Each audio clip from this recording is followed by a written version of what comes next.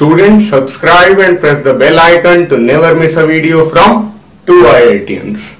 A joker's cap in the form of right circular cone of base 7 cm and height 24 cm.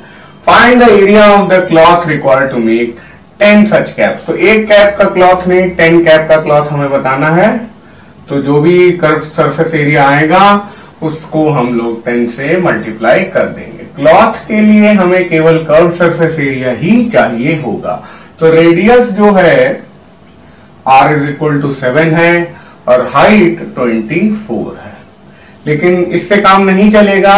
24 और 7 Pythagoras से अब हम लोग calculate कर सकते हैं कि ये आ जाएगा 25 सेंटीमीटर तो अब बस इसके बाद हम लोग को करना है कुछ नहीं है। एरिया ऑफ़ क्रॉस सेक्शन बता देना है तो स्लैंट हाइट बाई पाइथागोरस लिख देता हूँ मैं, चलिए।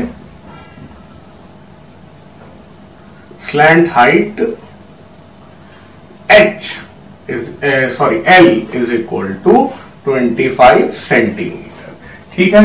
अब area of cloth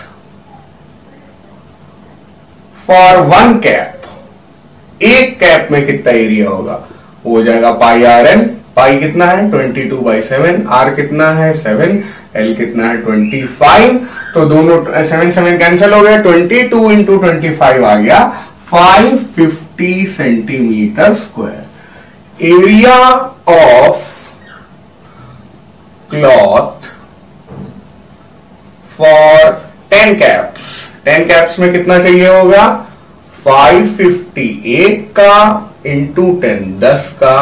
तो 5500 सेंटीमीटर स्क्वायर तो ये हमारा फाइनल आंसर हो गया बच्चों. टेन कैप्स के लिए इतना क्लॉथ